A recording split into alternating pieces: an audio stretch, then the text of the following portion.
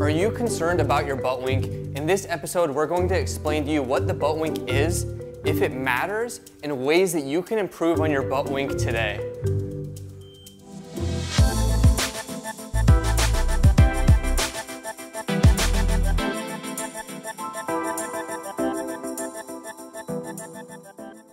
Welcome back, guys. This is Dr. Arash Maksudi. Dr. Craig Lindell. And today we're going to be talking about the butt wink. So let's first talk about what doesn't cause the butt wink and then go into what causes it. So what doesn't cause the butt wink is hamstring tightness, unless maybe we're talking about a deadlift where you're going into full hip flexion. But when we're talking about squats, that's not usually the issue. Also, strength is not usually the issue. It typically comes down to either a mobility deficit of the hips or a lumbopelvic control issue. And let's break those two things out. We're gonna have Craig go through a ton of different repetitions and we'll, we'll break those two things out so you can get a better understanding of what causes what. So Craig, let's go. Not tucked in shirt, in shorts. we got Craig with his shirt tucked in so that way we can see the pelvis motion. So let's go through a full range of motion squat here, Craig. Am I lined up? Yeah, we're lined up. Perfect. So we see Craig's good. At the bottom, he gets this posterior pelvic tilt and lumbar spine rounding, which is perfectly normal at an end range position. Now what's happening is Craig goes into this squat, let's hold the end, is that his hips are running out of range of motion. So when the head of the femur hits the acetabulum, his pelvis tilts posteriorly. And because of that, his lumbar spine is going to flex. This is a normal position to be in at end range. This is because of hip mobility. Now, if Craig comes back up, and let's say Craig goes into a lumbopelvic flexion uh, while he's going through the squat, so you're posterior tilting while you're going through it. Now, this is more of a control issue. Come back up and fall into that position before you get to end range. That is more of a control issue. So Craig is really good at squatting and that feels awkward for him because he has better control than that. Now, if it's an end range thing, all that tells us is the hip mobility is running out of range of motion, the pelvis has to move, and the lumbar spine flexes. Now what we'll do is break down ways that you can improve hip mobility and or lumbopelvic control depending on what your issue is. All right guys, so if hip mobility was an issue, here's an easy stretch that you can do to improve your hip mobility. What Craig's doing here is getting into this runner's lunge position and he's just sinking deep into it trying to get as low as he can, and he's even performing some circles, finding his own restrictions. This is working on that right hip mobility. So you can see how that right hip is going into a ton of flexion, but his left hip is staying in extension, so that's making sure that he doesn't compensate. A lot of times when people do hip stretches, they may compensate and use their low back a ton. This will lock out the pelvis a little bit more so. But I do want to let you guys know there's not great evidence to support that just doing hip mobility in itself will help with the butt wink at the bottom position. If you do have back pain at the bottom position of your squat, other things that you can do are increase your heel height. That'll make sure that you go into less hip flexion. Maybe open up your stance a little bit, which will take a little bit stress of, off the hip and make sure you can go into more hip flexion. And then also what you can do is go through less range of motion when you're doing your squats. So these are things that you can adjust, but I would recommend starting out with some hip mobilizations and see how that feels. And if that makes sense, let us know. Put a comment down below on what strategy that you maybe like, or if you do have a butt wink, is your issue more of a mobility issue or a control issue? Now, if lumbopelvic control is your issue, here are a few different ways that you can improve on that.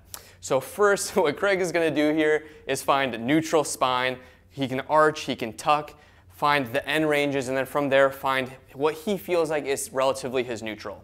Now, once he's found his neutral, he's going to hinge back, pushing onto his heels and you're going to see how he's going into hip flexion while making sure he can keep this relatively neutral spine. And we'll talk about is this bad or not later on.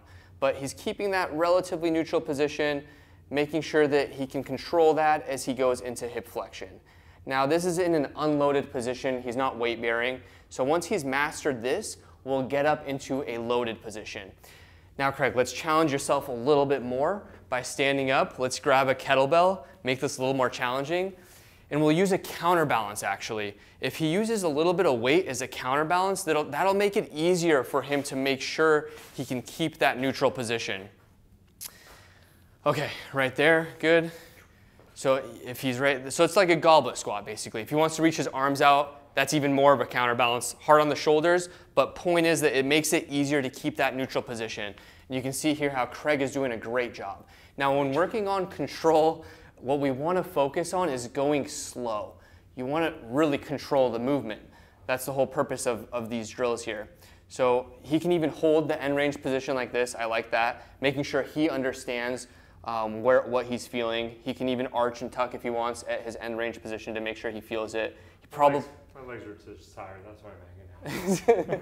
he's fatigued, and also that was his end range position. I wouldn't imagine him being able to arch much once he once he's at that bottom position. So once he's got a good understanding of how to maintain the position here, now let's challenge him with his initial concern. If that was a barbell back squat or a barbell deadlift, let's replicate that movement. So perfect, perfect setup here. We got a barbell, and what Craig is going to do is now perform barbell back squats. Now barbell back squats require a little more of that hip flexion, which is why it's a little harder to maintain that neutral position from both a hip mobility and a lumbopelvic control standpoint. And Craig is doing a great job here. Again, we're doing this very slow. You can even do a tempo squat where you go five seconds down, five seconds up, very slow and control, and make sure you can keep that neutral position. And then going off of that, let's get into what neutral is. Does neutral matter? Is butt wink really a bad thing in just a second? Is butt wink a bad thing? Let's have Craig answer this one. Well, I'm glad that my shirt's untucked and now Rosh's shirt's tucked in because now it's time to make him move through some stuff and we can talk about it. So the butt wink, easiest way to break it down is two things. Are you dealing with any pain or limitations and how deep do you have to go with the squat? So Rush, squat to the depth that you feel like you're not butt winking versus do a few squats to the point that you are butt winking. So with most people, like Arash talked about, at a certain point, depending on your anatomy, you are bound to butt wink. And that's okay as long as you can control going into it and going out of it. People get more concerned about it when there's a lot of load on the spine, especially if you can't control it. And sometimes that can end up getting associated with low back pain or SI joint pain or discomfort. So if you can't control it, then okay, Arash, let's limit it to the depth that you can limit any butt winking from happening. So if you're dealing with any issues where you feel like butt winking is the reason why you're dealing with pain or limitations or you can't train, then limit the depth that you're going to. You just learned all these different drills and all these different techniques to work on controlling your butt wink, identifying when the butt wink happens. But at the end of the day, there are no absolutes. There 100% of the time, butt wink is not going to be good. 100% of the time, a butt wink is not going to be bad. It just totally depends on the scenario. But the big takeaways are if you can control it, and you want to go that low, awesome, go for it. But if you're dealing with pain and issues, then take away from the then take away the drills and the techniques from this video and limit your butt wink.